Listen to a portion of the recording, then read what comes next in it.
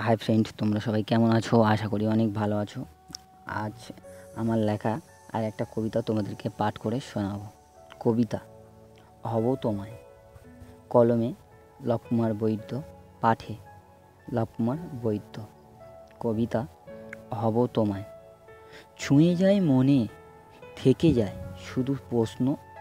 বলে যায় কানে কানে, যেও না কো আমায় ভুলে যেও না কো আমায় ভুলে। ওই অন্ধকারে হারিয়ে যেও আমার অপেক্ষাতে আমার অপেক্ষাতে। ভুলো না কো কোনো দিন শুধু প্রশ্ন করো আমাকে। আমি কে হব তোমায়? আমি কে হব তোমায়? মনের অন্তরালে লুকিয়ে থেকো। শুধু আমার অপেক্ষাতে কত দিন গেল, কত রাত্রি গেল, থেকে গেল কত স্মৃতি?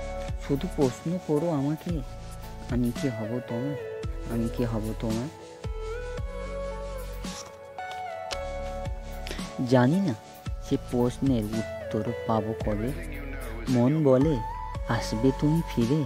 আসবে তুমি ফিরে?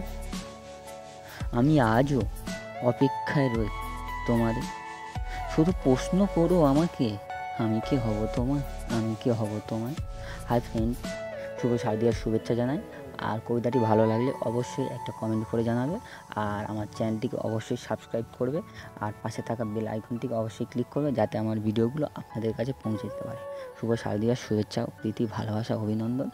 গুরুজনদের সুনাম জানায় আর আমার ভাই, বোন সবাইকে ভালোবাসা জানায় সবাই ভালো থাকুন, সুস্থ থাকুন।